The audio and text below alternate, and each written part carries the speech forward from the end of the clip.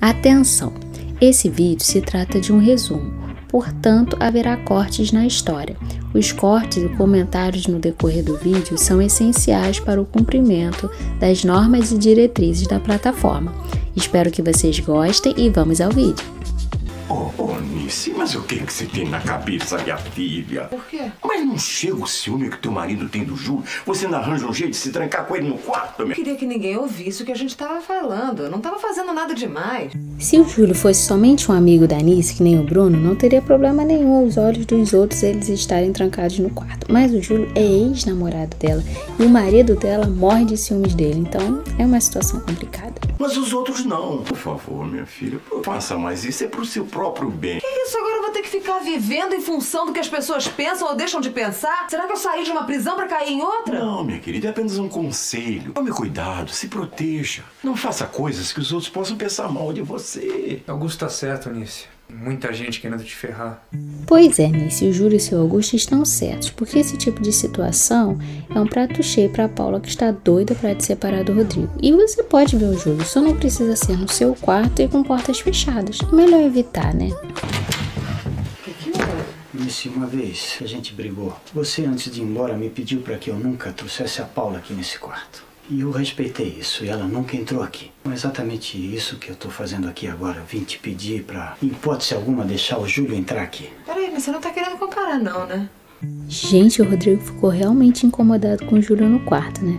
Porque é aquilo também, né? O quarto do casal é algo muito íntimo, né? E ver a sua esposa receber o ex no quarto não deve ser uma cena muito agradável de se imaginar.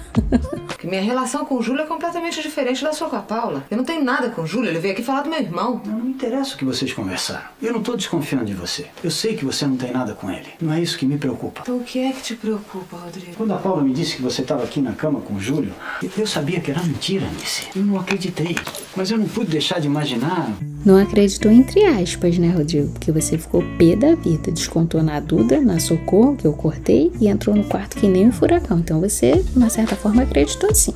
Vocês aqui nesse quarto, o carinho de vocês, a intimidade de vocês, isso foi, foi insuportável pra mim. Minha intimidade com o Júlio é de amigos, quase irmãos. Início, eu não tenho como impedir essa amizade de vocês, né? essa relação de vocês, mas eu posso te, pelo menos te pedir pra respeitar o meu sentimento. A Anice, com a maior paciência do mundo, explicando pro Rodrigo e ele no final. Só peço que respeite o meu sentimento. Hum, parece que alguém assumindo que está apaixonado aí, né, gente? Não deixa, por favor, o Júlio entrar nesse quarto, é só isso que eu lhe peço. Tudo bem, se é tão importante assim pra você, tudo bem. É importante, sim. I've seen a lot of change, been through a lot of pain. Some things are not O Rodrigo, mesmo sem perceber, acabou ganhando uns pontinhos com a Anice com esse pedido aí, porque ela gostou e sentiu o ciúme dele. A cara dela no final diz tudo. Chega de decepção. Eu acho que a sua atitude tá certa, Anice. Você tem que se fazer respeitar. O Rodrigo tem que entender que não tá mais lidando com aquela mocinha humilde e grata que se casou com o patrão. Você agora é outra mulher, com com outra atitude, com outras exigências. Só que eu acho que você não pode perder de vista o seu sentimento pelo Rodrigo. Eu adoro a Duda, porque ela sempre dá os melhores conselhos.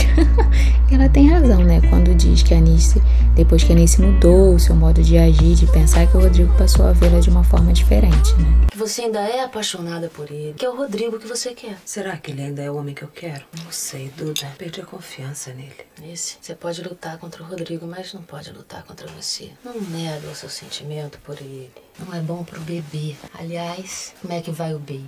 Gente, eu nunca pensei em ouvir a Anice falando desse jeito, né? Se questionando se ainda ama ou não o Rodrigo. E essa questão da confiança é complicada mesmo, né? Porque a confiança é como um cristal. Depois que quebra, não tem como colar, né? Agora tá bem. Passou a cólica. Tudo bem. Então, ótimo. Você agora vai ser um vestido bem limpo, assim, vestida pra matar. Você não vai jantar aqui com a gente? Enfrentar a fera da Estela? Hum, hum, hum, hum, hum. Eu vou sair com o Ciro. Olha aí quando eu falo que a Duda sempre dá os melhores conselhos. Ela percebeu que o Rodrigo ficou enciumado no escritório e mandou o que? A Anice se arrumar, descer linda, maravilhosa, para que ele veja o mulherão que ele tem, né? Vestido. O que, é que você tá fazendo aqui? favor, seu Rodrigo, eu prometo que eu não faço mais, tá? Vocês querem me explicar, por favor, o que tá acontecendo? Acontece sempre, Estela. O mau caráter continua dizendo pra Paula tudo o que acontece nessa casa. Você está na rua. Eu não faço mais, dona Estela. Sabe que você tem vergonha na cara? Olha, demorou, mas a casa da Socorro parece que vai cair, porque o Rodrigo e a Estela já deveriam ter mandado a Socorro embora há muito tempo. Porque desde sempre a única coisa que ela sabe fazer nessa casa é fofoca pra pau. Oh, por favor, dona Estela, não me manda embora. A senhora sabe que eu adoro trabalhar aqui. Se a senhora quiser, a senhora pode abaixar o meu salário, mas não me manda embora. Mandar embora, por quê? Que foi ela que ligou pra Paula dizendo que o Júlio estava aqui. Gente, ainda bem que a Anice ouviu os conselhos da Duda, porque vocês viram a cara do Rodrigo? Ele ficou paralisado ao ver a Anice linda daquele jeito. Eu adorei! A Paula sabe de tudo que acontece nessa casa porque a Socorro dá o relatório. Sabia que isso acontecia e deixei que ela continuasse trabalhando aqui. Mas também não é o caso pra demitir, né? A Cor é boa empregada. Ela é boa com o Theo. Tá certo que ela é uma língua de trapo, mas ela é competente. Se vocês querem saber, ela pode falar o que quiser pra Paula. Eu não tô nem aí. Quem diria que seria a Anice que iria intervir pelo emprego da Socorro, né? E gostei também que a Anice deixou claro que não se importa com nada que a Paula faça. Porque se fosse a velha Anice, jamais falaria isso. Olha, dona Anice pode não estar nem aí, mas eu estou. Você tá despedida. Você tá linda. Quer casar comigo? Tô fugindo de casamento, viu, Ricardo? O Ricardo sempre galanteador, né? Eu amo a relação dele com a Anice. E o melhor, gente, a cara do Rodrigo, olhando todo desconfiado, foi a melhor. Bem, vamos acompanhar as cenas dos próximos capítulos. Pessoal, eu sei que vocês gostam da história da Anice e do Rodrigo, então eu peço que vocês comentem bastante no vídeo. Não se esqueçam de deixarem seu like, de se inscreverem no nosso canal, ativar o sininho para não perderem as notificações. Até o próximo vídeo e tchau!